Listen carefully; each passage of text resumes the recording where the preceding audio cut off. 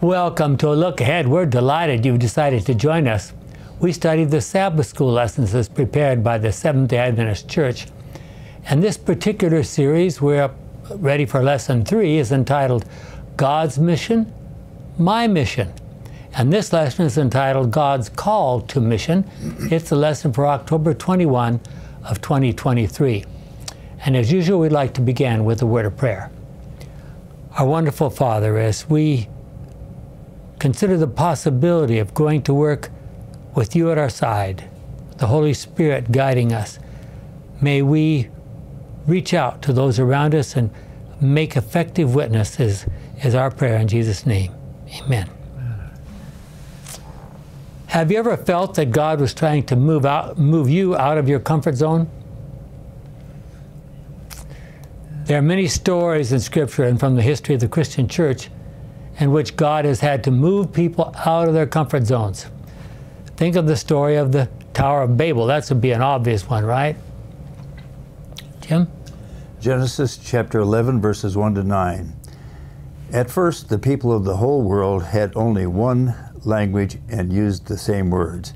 As they wandered about in the east, they came to the plain of Babylon and settled there, and said to, uh, excuse me, and said to one another, Come, let us make bricks and bake them hard, so that they had bricks to build with and tar to hold them together. They said, Now, let's build a city with a tower that reaches to the sky, so that we can make a name for ourselves and not be scattered over all the earth.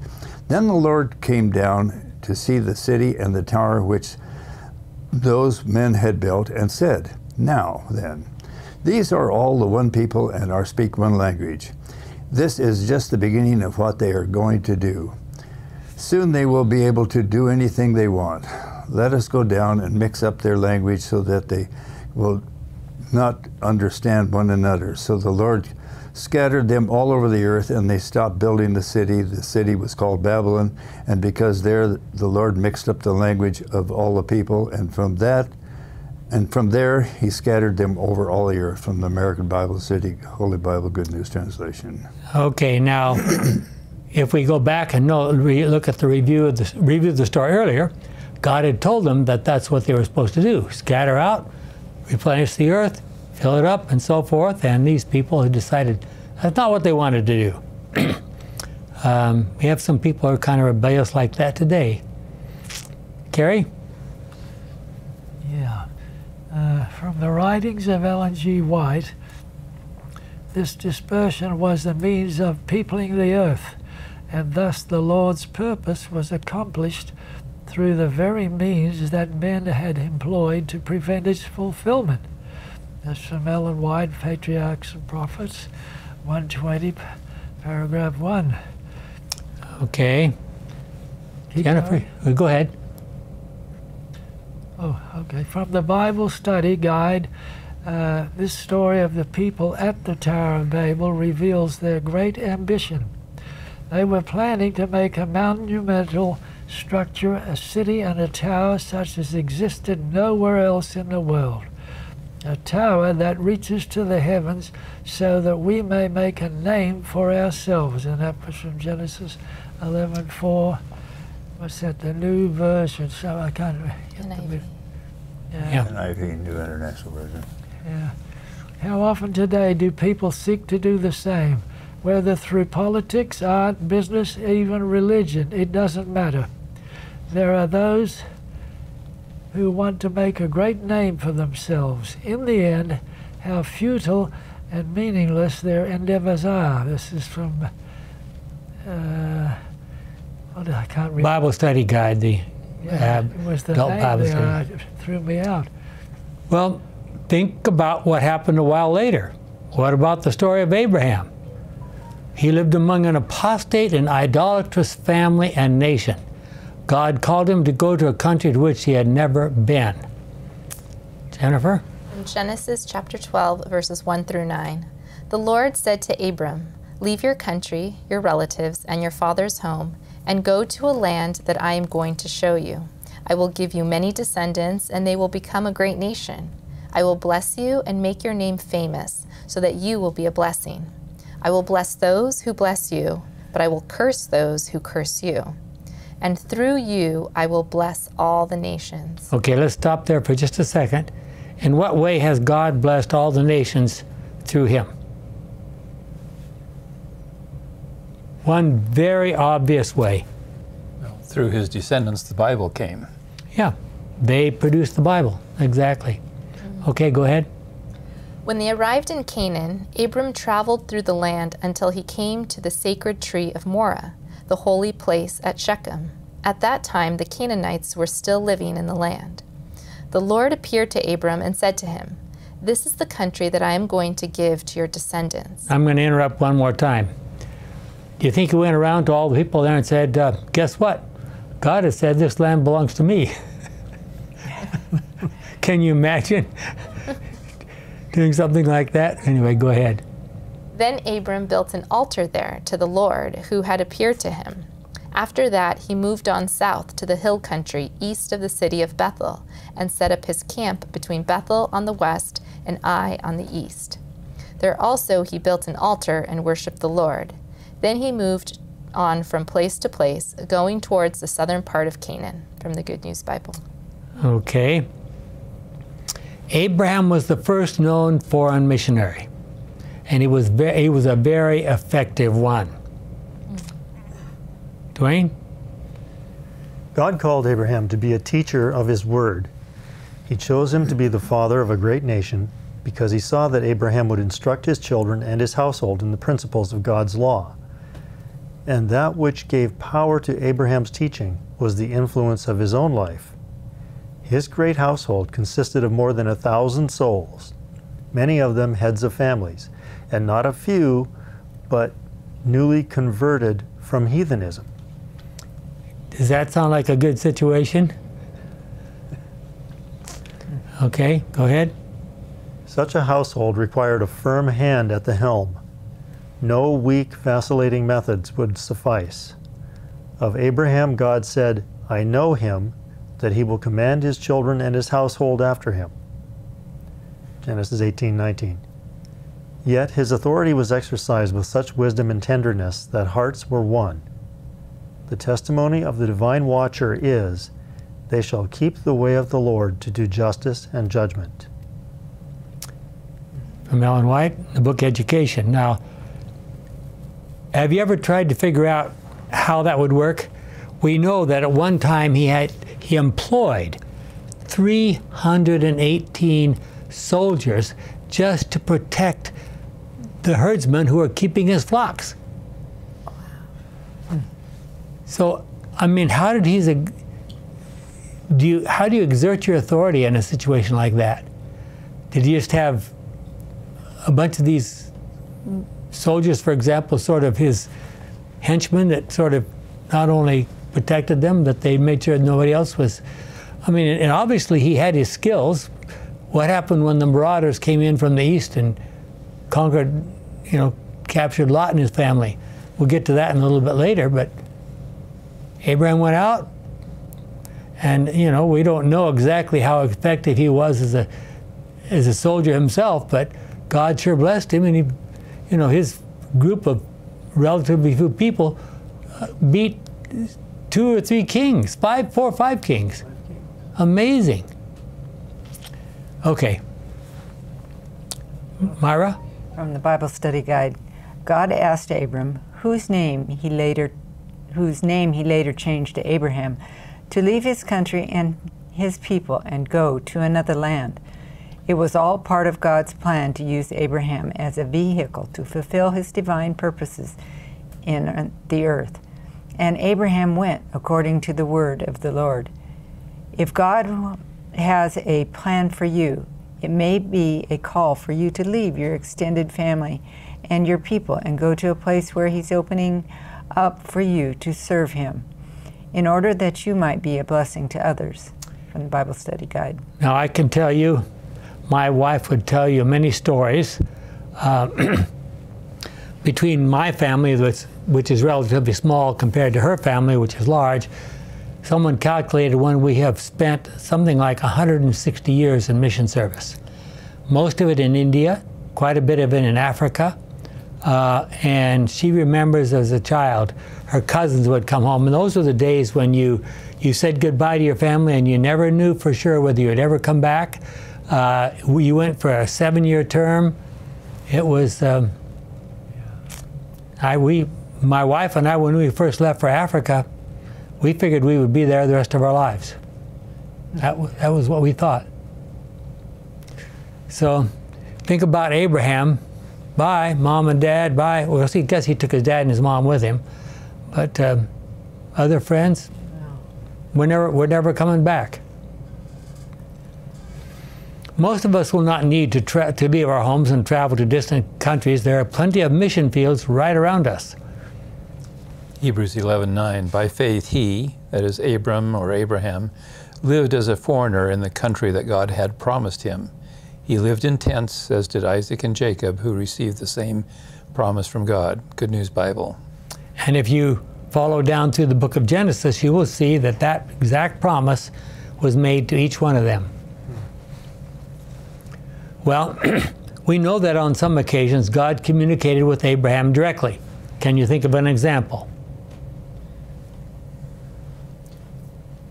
Before he destroyed Sodom, he Yeah, had direct communication face to face, there he was. along with two angels. Exactly.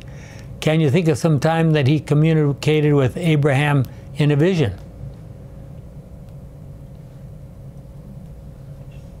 Do you remember the time he s- cut animals in half and passed through and God, he saw this boiling, this, this burning pot went right there? And you wonder, what? I mean, as a child, I wonder, what in the world was that all about? And it turns out that's the way they sealed contracts back in the days and in the territory where Abraham came from. And the reason for cutting the animals in half was the idea was if you break this contract, this is what's going to happen to you. that was that was what that, the, you know, hmm, I guess is a graphic way of putting it, right? We need to remember that Abraham did not have a pastor. He did not have a Bible, not even a tiny piece of Bible. He did not have a Sabbath school class or a prophet to direct him. But he did have numerous relations with God directly through vision and to personal interaction, including visions and personal visits. Did the devil visit him also? I'm sure he did. Did he visit him claiming to be God? Would God allow that, you think? We, we need to think about these things. We look at these Bible stories. Okay, Abraham had greatly desired to see. Look, uh, just look at this. This is amazing. Abraham had, this is from Ellen White. Abraham had greatly desired to see the promised Savior because he had been promised, you know, it's going to come in your line. Um, he offered up the most earnest prayer that before his death he might behold the Messiah, and he saw Christ. A supernatural light was given him, and he acknowledged Christ, Christ's divine character. He uh, saw his day and was glad. And he was given a view of the divine sacrifice for, uh, for sin. Of this sacrifice, he had an illustration in his own experience. The command came to him Take now thy son, thine only son Isaac, whom thou lovest, and offer him for a burnt offering. Remember the story of Genesis 22. Upon the altar of sacrifice, he laid the son of promise, the son in whom his hopes were centered. then, as he waited beside the altar with knife upraised to obey God, he heard a voice from heaven saying, Lay not thine hand upon the lad, neither do thou anything unto him, for now I know that thou fearest God, seeing thou hast not withheld thy son, thine only son, from me. Now, how many people, how many human beings saw that interaction? None that we know of. None. There was nobody else up there. He, he left the two his two servants back behind there. Remember, just the two of them are there. So, what was the purpose of this whole interaction? For the onlooking universe. For the onlooking universe, exactly. You know, they might have wondered why, why did God pick out this guy? Well, let me show you. This guy's special. But wasn't it also for Abraham as well? Well, yeah, absolutely. No argument about that. Well, we already sort of implied that. So, um, this terrible ordeal was imposed upon Abraham that he might see the day of Christ and realize the great love of God for the world.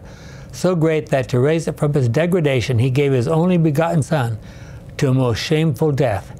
Abraham learned of God the greatest lesson ever given to mortals. His prayer that he might see Christ before he should die was answered. He saw Christ, he saw all that mortal can see and live. By making an entire surrender, he was able to understand the vision of Christ which had been given him.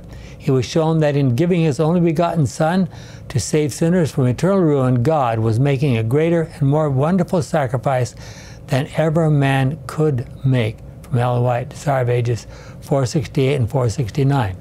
So, how would you support that, which, what I just read to you? How would you support that from the Bible?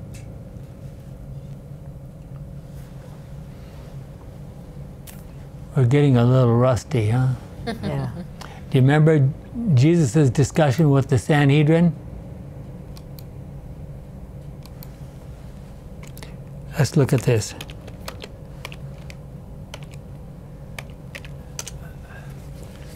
Um,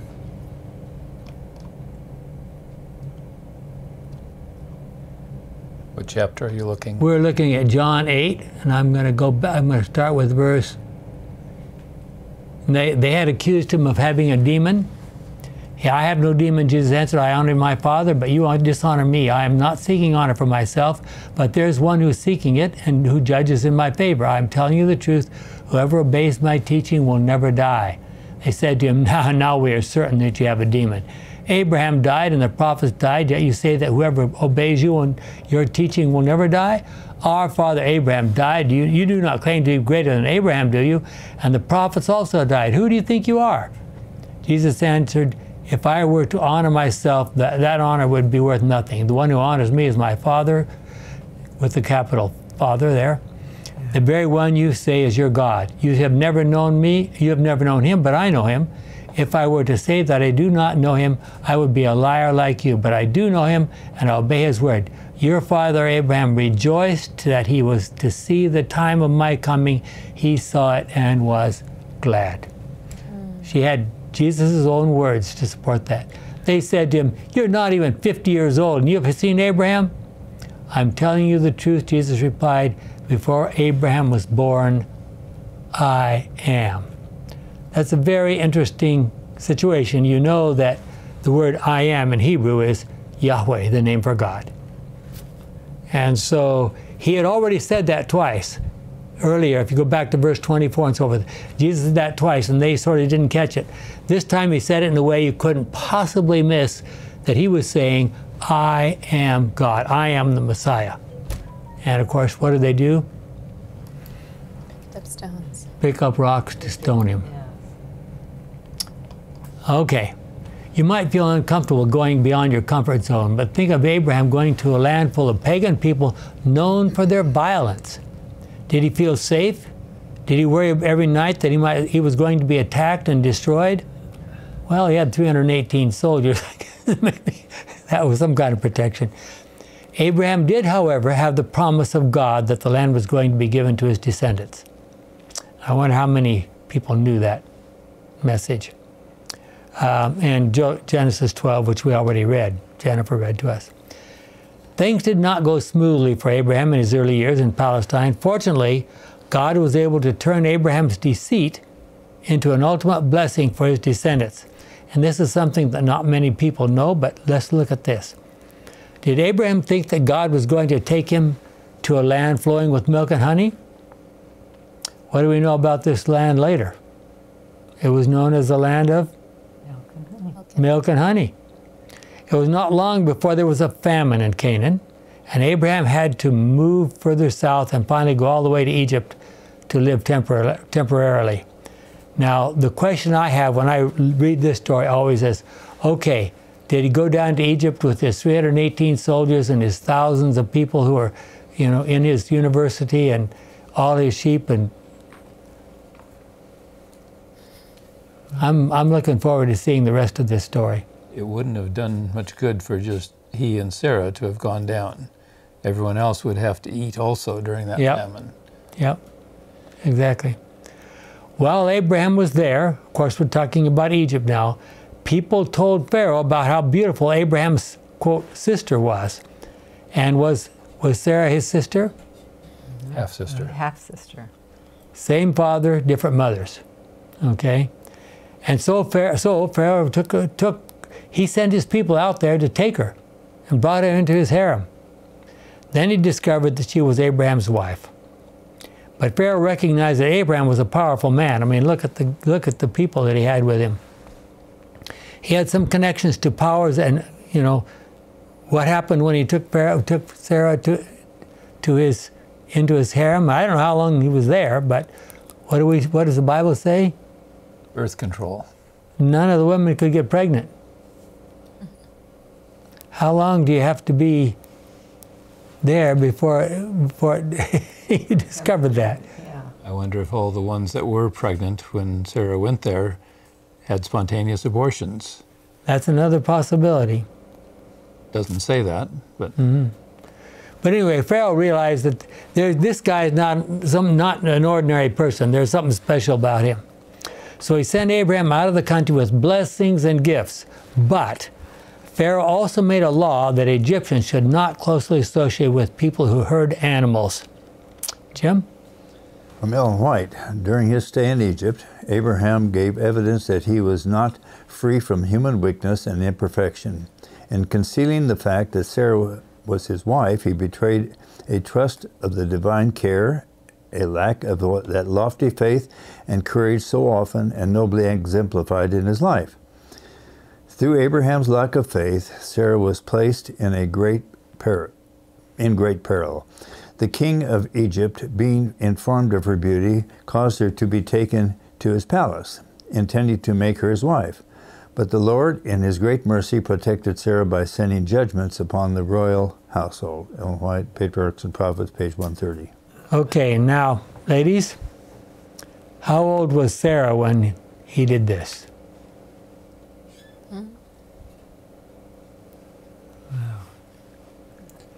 Getting up there. She was probably at least 70. Of course, people lived longer in those days, but Can people be beautiful at age 70? I don't think so. the laws passed by the Egyptians, here's what's really important. The laws passed by the Egyptians, again associating with, uh, against associating with shepherds, served as a protection for the children of Israel many years later when they immigrated to Egypt because of another famine. They were forced to live, in, to live separately from the Egyptians. Instead of just melting into Egyptian society, they developed into a separate nation. Amazing. Carrie? uh, BSG. Another element of the call to Abraham that is overlooked is found in Genesis 12 1 2, 3. Abraham was called to bless the nations. We are called to do the same. We often fail to note that the nations also would bless Abraham. This is from Genesis 12 3a. God's call to mission always implies a two way blessing. Those who follow God must be prepared to receive a blessing from the broader world around them as well. The call to mission is always a call to bless and be blessed. Understanding this dynamic changes the call, called rather, persons or persons attitude toward others and changes one approach to sharing the good news. We will explore this theme more in the next lesson. When we read Scripture, a noticeable trend flows throughout both Testaments. The trend is that God had to remind humanity periodically of the original call in Genesis. The need for a reminder resulted from two things. One, often God's followers forgot what God called them to do, and two, changing times required reinforcements of their calling. That is, the overall point to God's call needs to be this is textualized, yes, from time to time, but the call itself remains essentially the same. That's from Adult Teachers Sabbath School Bible Study Guide. Yeah, so it needs to be updated once in a while. The way we would reach out to try to spread the gospel today isn't the same as people did 100 years ago. Not, not to mention a thousand years ago. They didn't use television and the They didn't. internet. They didn't. Social media? No, nothing like that. So, so, to what group or groups do you think God wants you to reach out? If you read through those various passages, you learn several things. Obviously, part of what you learn is that God is able to predict the future. He predicted in detail the coming and mission of Christ. It is very clear from these passages that God has the ability to predict the future, even far in advance. Clearly, He predicted a number, uh, predicted a number of the details of the life and mission of Jesus hundreds of years in advance. He understands human nature and knows how each one of us is going to live our lives. Coming down to New Testament times, we have other examples. Following the death, burial, and resurrection of Jesus Christ, his followers were first completely disheartened, but then began to share the truth after the 40 days with Jesus after his ascension to heaven. Jesus had told them that they were to spread the good news in Jerusalem, then in Judea and Samaria, and then to the ends of the earth. But they were very comfortable in Jerusalem and continued spreading the good news there. Okay? Jennifer? Acts chapter 8, verses 1 through 4. After the stoning of Stephen, Saul approved of his murder. That very day, the church in Jerusalem began to suffer cruel persecution. All the believers, except the apostles, were scattered throughout the provinces of Judea and Samaria. Some devout men buried Stephen, mourning for him with loud cries. But Saul tried to destroy the church. Going from house to house, he dragged out the believers, both men and women, and threw them into jail. The believers who were scattered went everywhere, preaching the message from the Good News Bible. Okay. Our Bible study guide points out until this time, the early church was mainly in Jerusalem or within the Jewish territory and among the Jewish people. When persecution began, in which Saul, a devout Jew and a Pharisee at that time, was actively involved, the church in Jerusalem was then dispersed all over Judea and Samaria. Jesus had predicted in Acts 1 8 that you'll be my witnesses in Jerusalem and in all Judea and Samaria. NIV. This statement was fulfilled, as noted in Acts 8 4, that those who have had been scattered preached the word wherever they went. Even after the church began to move out beyond Jerusalem, the believers were still preaching only in the regions of the Jews or in the neighborhoods of the Jewish people in other s- cities. Okay, here's another little quiz question for you. Jew, the Jews scattered all over the Mediterranean world, and they that scattered bunch of Jews were called what? Do you remember? The diaspora. The diaspora, exactly. Acts 11:19 indicates that the believers were dispersed all the way to Phoenicia, which is currently Lebanon, and Cyprus, and we're going to find out even more than that. But they did not at this stage preach the message to anyone other than the Jews alone. So there were Jews all over the place, scattered doing business all through that area. So when they went there, of course, they were first thing they did is preach to other Jews. The disciples of Jesus and the early church did not intend to see the Gentiles, uh, but only Jews come to the Lord. They still had very narrow views what, on what the mission of the church was to be from our Bible study guide for Wednesday. And Acts 11, 19 26 will tell us what happened next, something very interesting. Dwayne? Some of the believers who were scattered by the persecution, which took place when Stephen was killed, went as far as Phoenicia, Cyprus, and Antioch, telling the message to the Jews only. But other believers who were from Cyprus and Cyrene Okay, now I'm going to interrupt for a second. Where's Cyprus? In the Mediterranean. Mediterranean. It's a pretty good sized island in the Mediterranean. Mediterranean. Yeah. And where is Cyrene? Libya. Libya. So here's people coming from Libya and the island of Cyprus, and what do they do? Preaching to the Gentiles. Okay, go ahead, Dwayne. Uh, they, they were from Cyprus and Cyrene. They went to Antioch and proclaimed the message to Gentiles also, telling them the good news about the Lord Jesus. The Lord's power was with them, and a great number of people believed and turned to the Lord. The news about this reached the church in Jerusalem, so they sent Barnabas to Antioch. And I'm going to interrupt again for a second. They sent him to Antioch to do what? What are they doing, letting Gentiles Yeah. into the church? I'm afraid that's what the plan was. Anyway, go ahead. When he arrived and saw how God had blessed the people, he was glad and urged them all to be faithful and true to the Lord with all their hearts. Barnabas was a good man, full of the Holy Spirit and faith, and many people were brought to the Lord. Then Barnabas went to Tarsus to look for Saul. Now, it turns out that Antioch and Tarsus are not very far apart. And I don't know how he, how he figured out that Paul was over in Tarsus, but he went over there, said, Hey, you come help us. When he found him, he took him to Antioch, and for a whole year the two met with the people of the church and taught a large group. It was at, at Antioch that the believers were first called Christians. Okay, so why do you suppose they were first called Christians there? There's several possible reasons. Can you think of one?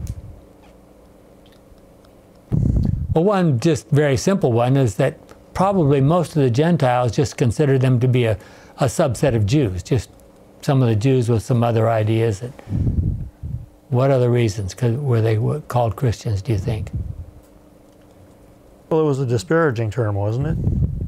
Followers of that Oh, dead man. yeah. Yeah, followers of that dead man, probably.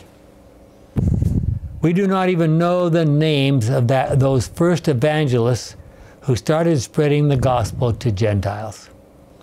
After spending years with Jesus, why do you think it was so hard for the disciples to feel comfortable reaching out to Gentiles as he did?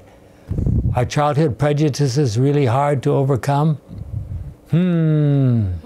And B. There's a challenge, huh? Peter was rebuked by Paul for his prejudice even after that fantastic experience with Cornelius and his family.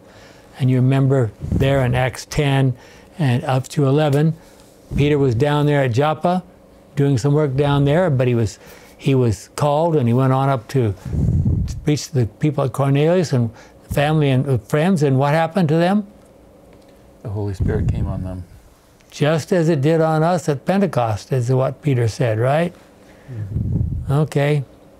So Peter just he knew he knew it wasn't going to be friendly when he went back to Jerusalem. So he took six witnesses with him to confirm that God had indeed poured out His Spirit on Gentiles. You mean God poured His Spirit out on Gentiles? No. Impossible. Impossible. How could it be? The disciples and the stepbrothers of Jesus were so prejudiced against Gentiles that when Paul traveled back to Jerusalem, bringing some Gentiles with him, those church leaders failed to stand up for Paul when he was accused before the Jewish leaders. And you can read about that in Ellen White's book, Acts of the Apostles 400 to 405. Amazing. Ama- These are the these are the Christian church leaders. Having spent time with Jesus himself, one might think that the disciples were uh, would not make many of the mistakes made in the early church. In fact, what we read is that even the disciples thought their homes were in, though their homes were in Galilee, felt comfortable staying in Jerusalem because that is where the other disciples were and other Christians lived. Just because they were disciples doesn't mean they were perfect. What? Oh, come on. But they're the ones. They're the ones that Jesus chose to be the founders of the Christian church. I mean, they weren't saints. I've seen pictures of them in lots of churches with halos over them. We have the whole group of Israelites. They were God's people too. Okay. Finally, the point came when God had to take at least Peter, one of the church leaders, away from Jerusalem and send him directly to a Gentile foreigner. And here we'll, we'll read just a few verses of this. Acts 10, verses 9 to 15 and 28 and 29. The next day, as they were on their way and coming near Joppa, Peter went up on the roof of the house about noon in order to pray. He became hungry and wanted something to eat. While the food was being prepared, he had a vision. He saw heaven opened and something coming down that looked like a large sheet being lowered by its four corners to the earth, and in it were all kinds of animals, reptiles, and wild birds. The voice said to him, Get up, Peter, kill and eat. But Peter said, Certainly not, Lord. I have never eaten anything ritually unclean or defiled. The voice spoke to him again Do not consider anything unclean that God has declared clean. He said to them, We skip down a few verses because it Yes. repeats. uh, in verse 28, he said to them, You yourselves know very well that a Jew is not allowed by his religion to visit or associate with Gentiles. But God has shown me that I must not consider any person ritually unclean or defiled. And so, when you sent, sent for me, I came without objection. I ask you then, why did you send for me?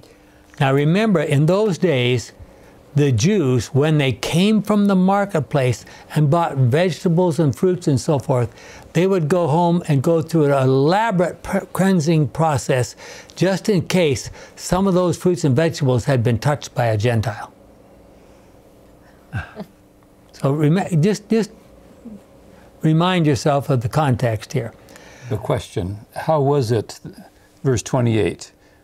How did uh, God has verse, God has shown me that I must not consider any person ritually unclean or defiled. My interpretation of that is that the sheet with all the unclean animals came down that way. Yeah. Other people interpret that quite different, but Yeah.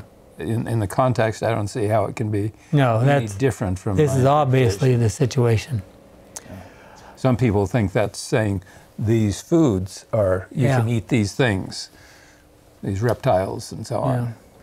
Let us remind ourselves of the directions that God gave to the early church fathers at the very beginning, immediately after Christ had ascended.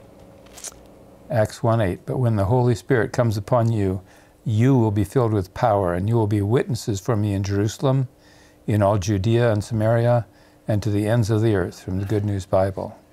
Okay, go, you go ahead and read the Bible study guide From the. Bible Study Guide. First, you will be my witnesses in Jerusalem.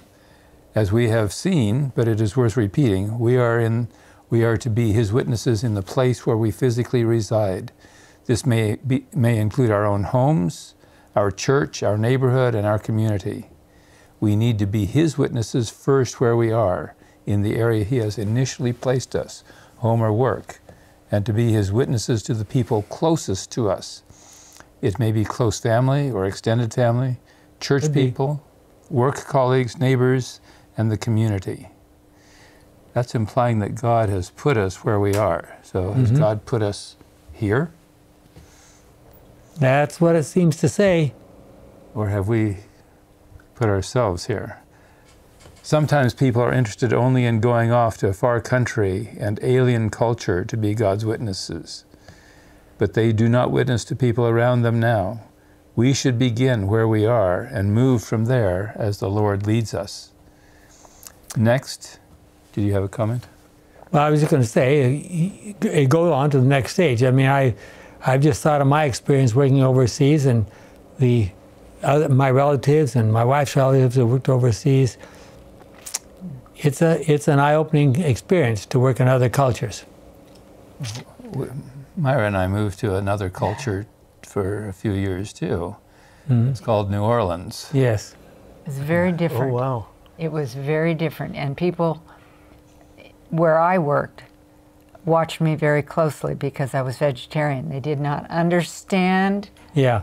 What that meant. Well, what do you eat? Yeah. Exactly. Must be some What, strange. what I remember about New Orleans is we were traveling through Or- New Orleans on our way to. My father was drafted in the military, going from San, going from uh, San Antonio to Massachusetts, and we we man, we hit New Orleans on the Sabbath. So of course we found, had to find an Adventist church. We found an Adventist church, and mostly it was uh, colored folks, but we had a nice church. And afterward, they said, well, "Would you like us to show you around a little bit?" Sure. Well, we'd never been to New Orleans. They, they drove us around, and what was amazing to us, we'd come from northern Idaho. Okay, was amazing to us. They showed us this park just completely, because that territory is just flat as can be, and I don't know if it's still there or not, but they had, someone had piled up the dirt about 50 or 60 feet tall, quite a big mound, and at the bottom there's a sign that said, this is a hill. you know, my brother and I just, with our mouths hanging open, what? This is a mountain. when we were there, we we looked at the clouds. That every afternoon you had a thunderstorm, Yeah. and the clouds were our mountains. Yeah. Because it is very flat there, very. Flat. Very, very flat. Okay. Next, in all Judea and Samaria and to the ends of the earth, Acts 1 8. Again, Jesus affirms the reality that witnessing involves crossing cultural boundaries. They're there in New Orleans too. Mm-hmm. Beginning from where we are, we may be called to move to other areas to reach out to different social, ethnic, and religious groups. If I belong to a certain ethnic or language people group, it may be much easier for me to witness to them because of minimal culture, cultural barriers to cross. In some areas of the world, only one clan or tribe is represented in the makeup of the church. However, Jesus' Great Commission tells us that as His witnesses, moving out of our comfort zone and investing our resources for such people groups is crucial. They also need the message of Jesus. Think of some major parts of the world where almost nobody knows any. I mean, most of the people know nothing at all about real Christianity. Most, there are many areas where they don't even know of any Christianity. Mhm. So, the challenge in the Bible Study Guide identify and make a list of people groups with special needs in your community whom the church has not made efforts to reach. And challenge up begin praying for an opportunity in the near future to become engaged in mission to people with special needs from the Bible Study Guide for Thursday. Okay, so every Thursday during this quarter, we're going to get challenges. We're going to say, if you want to go out and witness, you want to make a difference in the world around you, try doing some of these things. And that's one example there. This is the principle set out by Jesus that shows us how we need to act as his disciples who have the good news to share with others. Sharing the truth is not about convincing others how wrong they are, although sometimes that seems to be the approach. Uh, but rather about sharing Jesus as portrayed in the three angels' messages of Revelation 14, 6 to 12. And we have a very familiar passage here. Then I saw another angel flying high in the air with an eternal message of good news to, to announce to the peoples of the earth, to every race, tribe, language, and nation. He said in a loud voice, Honor or, well, and praise his greatness, for the time has come for him to judge. Worship him who made heaven, earth, the sea, and the springs of water. A second angel followed the first one, saying, She has fallen, great Babylon has fallen. She made all peoples drink her wine, the strong wine of her immoral lust.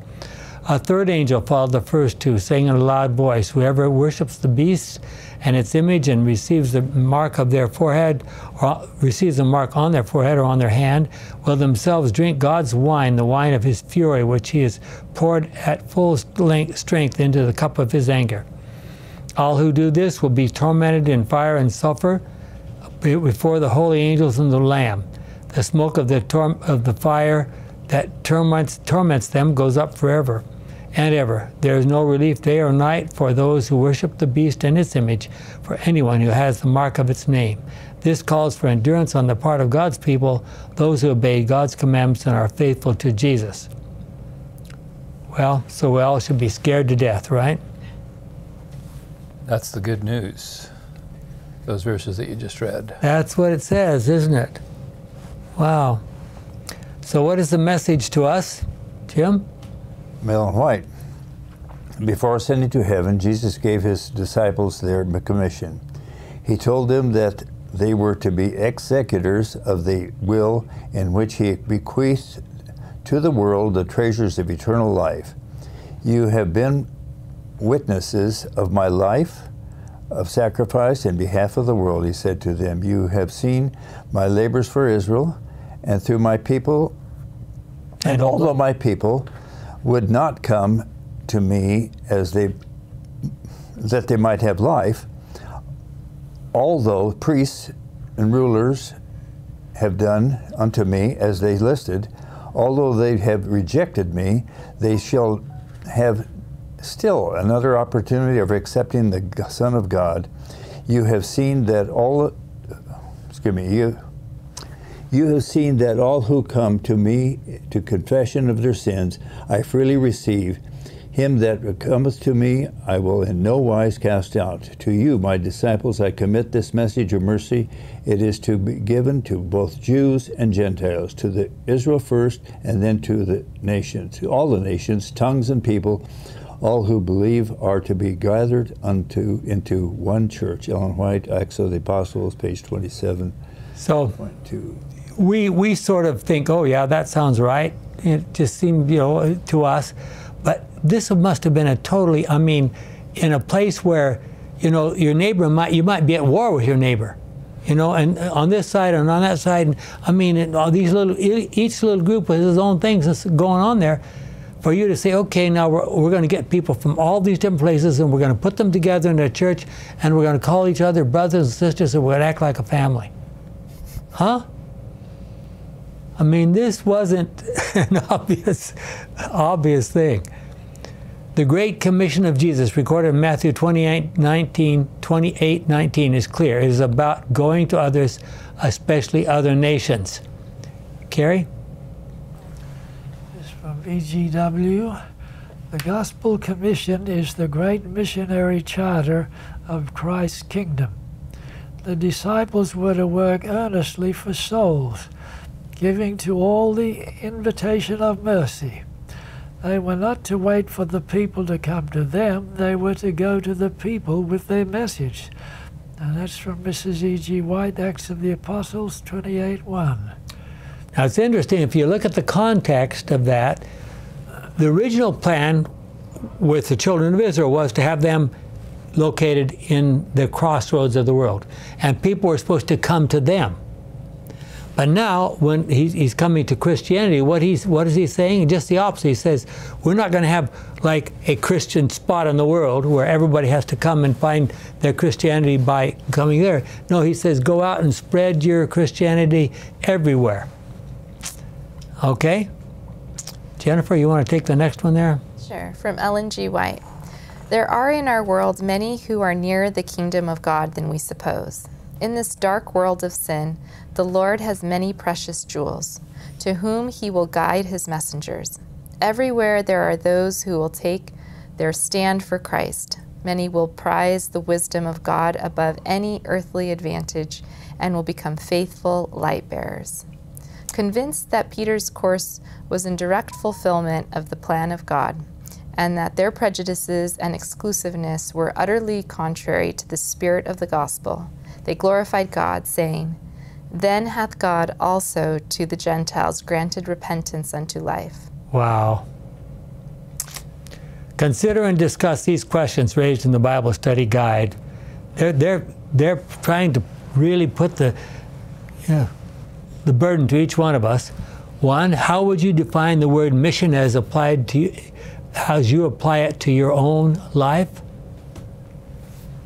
Two, in what ways could you daily express mission in your attitude and behavior? How can you be more mission minded in your daily tasks? And three, how important is it that we examine our hearts and seek power from above to be purged from prejudice against those unlike us? From our Bible study guide for Friday. Boy, we're supposed to get rid of all our prejudices, and then we're supposed to reach out to people that are not like us. Is that easy? Oh, it says we're not to do it our, by ourselves. Good. Mm-hmm. Are we brave enough to take these questions seriously for ourselves? In our first two lessons, we focused on the fact that this mission was, was and is originally God's mission. It needs to be our mission as well. God has been waiting for 2,000 years for us to comprehend and implement His mission. God has repeatedly promised His close followers that He would bless them, even multiply them to the generations. And there's a bunch of text there, just, just through Genesis, not counting all the other places. God's original plan was for us to be fruitful and multiply and live in the Garden of Eden and spread that Garden of Eden eventually all, all around the earth, I'm sure. However, sin has created a lot of problems, and God has had to work around it in many ways. Duane, I think that's yours. Sin, however, ushered in the necessity of a salvific plan that would make it possible for humanity to be able to fully live the life God intended. Redemption was demonstrated to humanity through the ritual of sacrifice. As Adam and Eve shared this plan with succeeding generations, they included the sacrificial act as part of revealing the scope of what God would do to rescue fallen humans. While many probably struggled to grasp how redemption would work, some could see that God had a plan that brought hope. This plan would become part of the call of God for humanity to share with the world. God's plan would make it possible for humans to live the reality He originally intended for them in Eden. Okay, so our lesson is going to emphasize this point that what did God say to Adam and Eve in the very right at the beginning? Be fruitful and multiply. Be fruitful and multiply and fill the earth. So now he's applying that same kind of idea to the gospel. You know, we can be fruitful and multiply, yes, but the purpose of being fruitful and multiply is to do what? Fill the earth. Fill the earth with the truth, the God's truth, right? The plan of salvation or healing had to demonstrate the terrible truth that sin results in death and that we must turn away from sin in order to be a part of God's plan for our lives. One of the things that we don't often think about, but we need to think about more, is that God cannot take a bunch of sinners to heaven, the great controversy would just start all over again. It's not like, you know, he, he, he just, I like you, I don't like you. No, he's, he's going to take everybody to heaven that is safe to live next door to. Okay. Had the, Another way to say that is he's going to take everyone who really wants to be there. Yeah. Yep. Yeah, be, and, and there's plenty of evidence to suggest that the people who don't, the, the blatant sinners at least, they wouldn't be happy at all. Heaven is self-selected. Yeah. Um, has sin and its results on this planet destroyed God's original plan? Or does God have a way of putting things back together, eliminating sin and sinners, and making this earth future headquarters like the Garden of Eden again? And if you want to read exactly how that takes place, the final steps of it actually happening, the book of Great Controversy by Ellen White, pages 662 to 674. It's an amazing, amazing um, several pages there. It is a challenge to read down through the history of the Old Testament and see and understand the different ways God sought to teach humans about the plan of salvation. All of the different efforts that He made in so many different ways. Wow. Um, Genesis 1 26 to 28.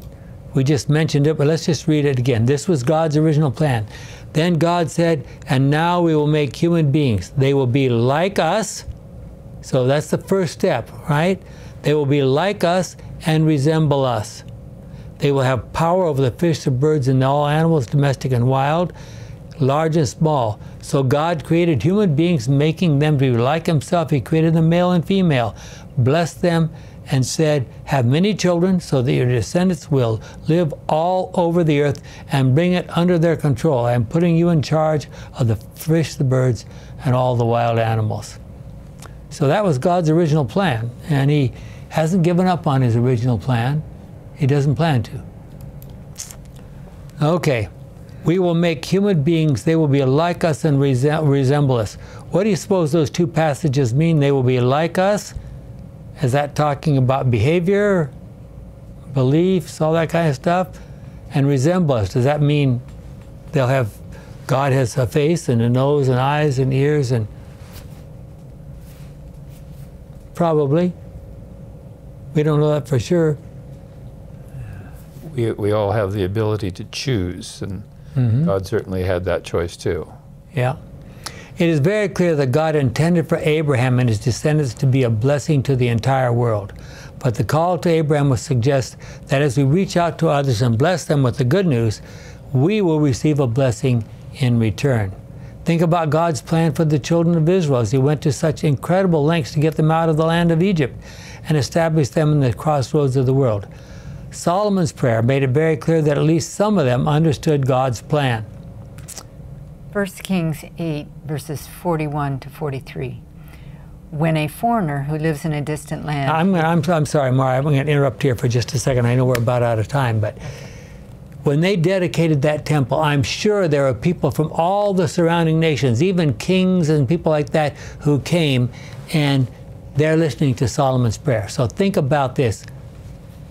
Go ahead. When a foreigner com- who lives in a when a foreigner who lives in a distant land hears of your fame and of the great things you have done for your people and comes to worship you and to pray in this temple. Listen to his prayer. In heaven where you live hear him and do what he asks you to do so that all the peoples of the world may know that you and know you and obey you as your people Israel do. Uh-oh, hope it's not like that. Then they will know that this temple I have built in it, in it, that I have built is the place where you are to be worshipped. Good Well- News Bible. Probably in the days of Solomon, they were probably as close to that as they ever got. And then, Gordon? Isaiah 19, 23 to 25. When that time comes, there will be a highway between Egypt and Assyria. The people of those two countries will travel to and fro between them, and the two nations will worship together instead of fighting, is what it means. Yes.